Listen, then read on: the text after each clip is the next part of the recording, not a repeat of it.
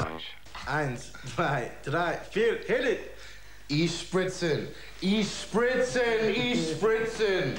At the Eros Center, Eros Center, number one. Number one Eros Center. Freifleck Mushi.